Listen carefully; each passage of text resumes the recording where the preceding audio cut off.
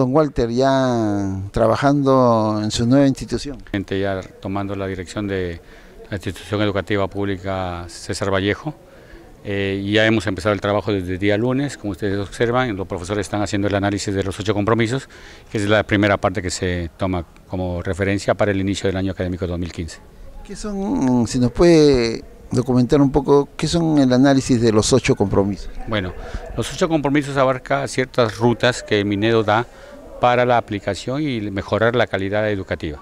En ese sentido hay que analizar estadísticos de cuántos alumnos pasan, de cuántos alumnos se quedan, de cuántos alumnos dentro del logro destacado o aprobados, eh, cuántos están en inicio, cuántos están en proceso y cuántos están en logro destacado. Todo ese análisis nos va a permitir un pronóstico para el año 2015 y cómo, qué metas vamos a poder alcanzar. ¿Y qué tal la respuesta que he tenido con los profesores de la institución? Sí, eh, ya con los profesores de Chancay creo que nos conocemos un poco. Y en el caso de César Vallejos también yo conozco a la mayoría de ellos, hemos trabajado en diferentes instituciones educativas y la suerte que tengo es de que me conocen la forma de trabajar y agradecerle de antemano la bienvenida que nos dieron el día lunes, no solamente al director, sino también al subdirector y también a la PAFA, porque la PAFA a través del Facebook ha publicado una bienvenida para nosotros, hemos tenido una reunión con ellos ayer hasta las 9 de la noche y estamos pues en coordinaciones para eh, planificar lo que va a ser el año 2015 dado a que hay ciertos cambios de acuerdo a la directiva del año académico que corresponde. ¿Qué objetivos, profesor, para esta institución educativa de parte de su gestión? Sí, justamente he compartido con los profesores tener el logro destacado en educación ambiental, ¿no? dado a que creo que el César Vallejos tiene todos los requisitos para lograr este logro en educación ambiental, que es lo primero que está poniendo tanto DIECA como el Ministerio de Educación en sí.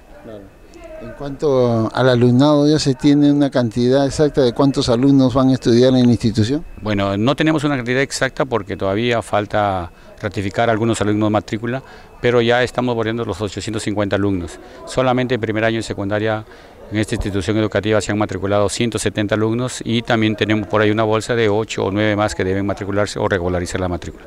¿Puede decir entonces, profe, que ya están casi todo listo para el próximo lunes que se inician oficialmente ya las clases? Sí, es, eh, permítanme invitar a todos los padres vallejianos para que envíen el día lunes a sus hijos, a sus señoritos señoritas hijas y a los jóvenes para que puedan estar ya, porque el trabajo que se está planificando es para iniciar con desarrollo de sesiones de aprendizaje desde el lunes 9.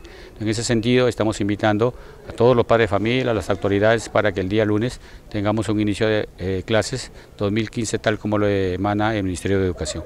No tenemos mayores contratiempos, eh, solamente esperar también lo que respecta al mantenimiento para el pintado respectivo, porque la PAFA ha planificado eh, otros trabajos que los está realizando, por lo tanto no se ha tomado en cuenta el pintado. Quizá con el mantenimiento de 2015 podamos realizar ese trabajo.